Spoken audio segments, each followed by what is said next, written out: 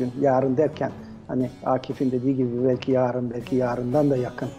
Türk e, devlet başkanları e, bir araya gelip e, mesela Kıbrıs'ı tanıyabilirler. Bugün tam özlediğimiz bir e, Evet, Kuzey evet, Kıbrıs evet, evet. Cumhuriyeti hükümeti kuruldu. E, Cumhurbaşkanı seçildi. Yani gözümüz yaşlı seyrettik onlara da.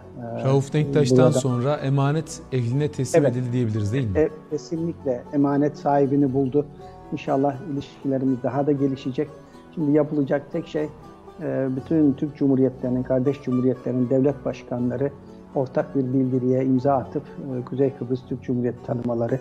E, Bunu yapabilecek iradeye sahipler diye düşünüyorum. Belki bunun inisiyatifini de hani Kazakistan'ın aksakalı diyoruz. Çok değerli devlet adamı Nursultan Abişuru Nazarbayev yapabilir. Bizim Cumhurbaşkanımız da zaten e, bütün yani elini değil bütün gövdesini koyar böyle bir şeyin altına. Evet. E, Diğerleri de niye olmasın? İlham Aliyev e, o da artık çok tecrübeli bir devlet adamı oldu.